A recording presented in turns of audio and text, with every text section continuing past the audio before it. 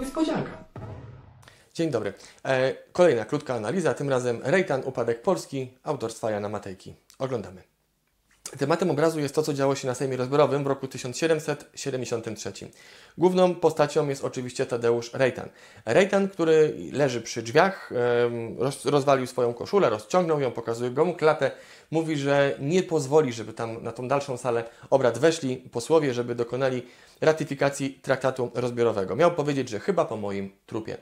I temu Rejtanowi, który leży sobie na progu towarzyszy w tym obrazie jako kolejny bohater Adam Poniński.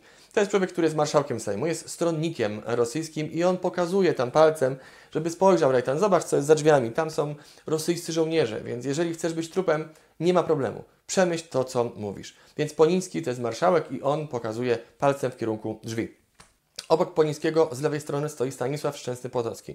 On w rzeczywistości miał wtedy 21 lat, więc na sali sejmowej był po prostu nieobecny, ale chodziło o to, żeby pokazać pewną grupę, która w przyszłości zdradzi e, Polskę. Po prawej stronie obrazu widzimy hetmana polnego koronnego, którym był Franciszek Sawrebranicki, który trzyma swoją głowę, twarz w dłoniach i na takiej zasadzie co ja zrobiłem, co ja najlepszego zrobiłem. Chodziło o to, żeby ten Branicki był też symbolem tej zdradzieckiej, powiedzmy, działalności w latach 90.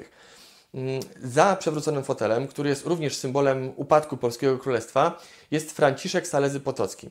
E, on jest takim bogatym szlacheckim stroju, ma taką wstęgę orła e, białego, ten order, o którym mówiłem przy Augustie II. Jest to wówczas jeden, znaczy już nie wówczas, ale niegdyś jeden z najpotężniejszych magnatów Rzeczypospolitej. Jednak w momencie tego Sejmu na rok 1773 już dawno nie żył.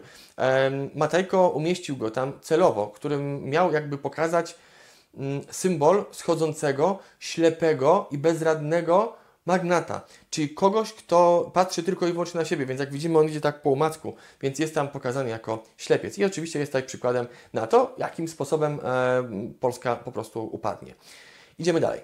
Spójrzcie na Stanisława Poniatowskiego. Stoi zamyślony, tak naprawdę bezradny, nie wie co się dzieje, nic więcej zrobić nie może. Patrzy z poważaniem też na tego Rejtana, który leży biedny pod tymi drzwiami. Obok niego mamy Kołątaja, Hugo Kołątaja, który w tym czasie miał 23 lata, nie był na Sejmie Rozbiorowym obecny, był na pewno albo w Wiedniu, albo w Rzymie, studiował, ale na obrazie pokazany jest jako osoba już w takim, w pełnym wieku e, i to miało być symbolem sprzeciwu wobec tego, co dzieje się na tym Sejmie.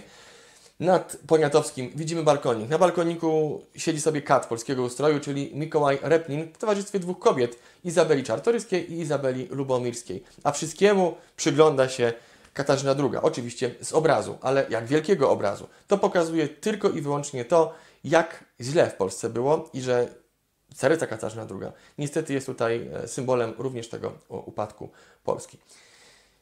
Cóż tu więcej powiedzieć. Dziękuję za uwagę i pozdrawiam serdecznie. Do widzenia.